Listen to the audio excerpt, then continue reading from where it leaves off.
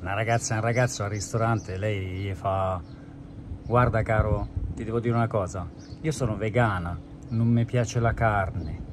Dice c'è problema, io sono sorcano, sorcano, e cioè mi piace il pesce.